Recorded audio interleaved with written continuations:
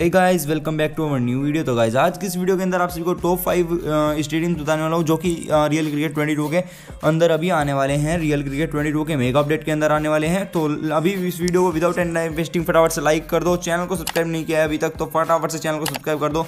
So let's get start this video without and investing और आप सभी को बताता हूँ रियल क्रिकेट 22 के मेगा अपडेट में आने वाले, जो कि स्टेडियम्स है फाइव स्टेडियम्स आपको बताने वाला हूँ, ठीक है? तो दोस्तों, चलिए अब इस वीडियो को स्टार्ट करते हैं।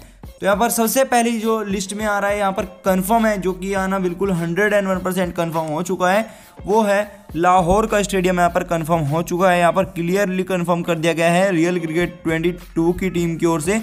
क्योंकि इन्होंने एक शॉट ऑफ़ द वीक में यहाँ पर इसको दिखा दिया है हमें ऑलरेडी तो इस वजह से ये आना यहाँ पर कंफर्म है हंड्रेड एंड वन परसेंट यहाँ पर कंफर्म हो चुका है ये आना, ठीक है?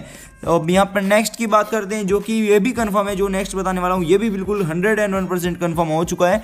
इसका भी कोई इशू ही नहीं है नहीं आने का, ठीक है? ये आएगा ही आएगा। हंड्रेड एंड वन परसेंट आएगा ठीक है? यहाँ पर इसका नाम है आबू धाबी ठीक है? ये आएगा hundred and one percent.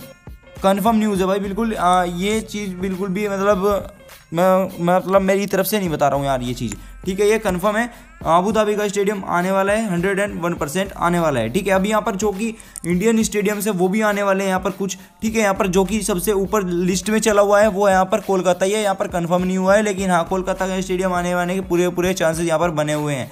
और यहाँ पर नेक्स्ट जो कि मतलब मैं चाहता हूँ यार आ जाए क्योंकि यार चेन्नई का स्टेडियम ऑलरेडी इसके अंदर है पुणे का स्टेडियम इसके अंदर ऑलरेडी है।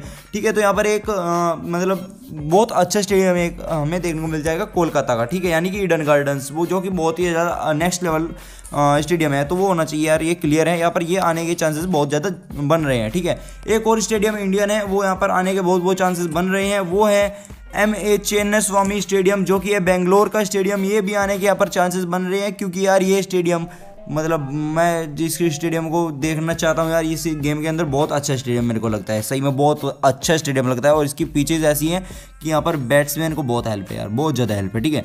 तो यहाँ पर इसके बाद एक और यहाँ पर पाकिस्तानी स्टेडियम यहाँ पर लिस्ट में आ रहा है। ये लिस्ट में कराची का स्टेडियम, ठीक है? कराची का स्टेडियम यहाँ पर आने के पूरे पूरे चांसेस हो रहे हैं अभी के टाइम पे, लेकिन हाँ ये ये चीज़ रिवील नहीं हुई है। इनमें से दो स्टेडियम्स तो अभी तक रिवील कर दिए गए हैं आबू धाबी और लाहौर का, ठीक है? बाकी तीन स्टेडियम्स जो मैंने बताए हैं, वो यहाँ पर रिवील तो नहीं किए गए हैं, लेकिन आने वाले हैं। यहाँ पर ये कन्फर्म न्यूज़ हो चुकी है ज़्यादातर। ठीक है हाँ यहाँ पर मैं आपको एक बार पूरी लिस्ट आपको दोबारा से बता देता हूँ। जो कि नंबर वन लिस्ट पर चल रहा है, वो है लाहौर सेकंड पर आबू धाबी एंड देन यहाँ पर आपको कोलकाता का स्टेडियम यानी कि ईडन गार्डन्स यहाँ पर फिर फोर्थ पे चला हुआ है Chennai Swami M A Chennai Swami stadium जो कि है बेंगलोर का एंड एक कराची का स्टेडियम यहाँ पर आपको देखने को मिल जाएगा।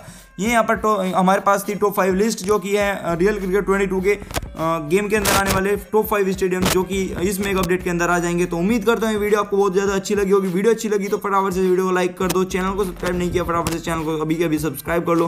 तो दोस्तों, चलिए अभी इस वीडियो के अंदर इतना ही। फिर मिलता कोई और अच्छी इंटरेस्टिंग वीडियो के साथ। तब तक के लिए जय हिंद, वंदे मातरम। Bye bye take care Bharat माता की जय।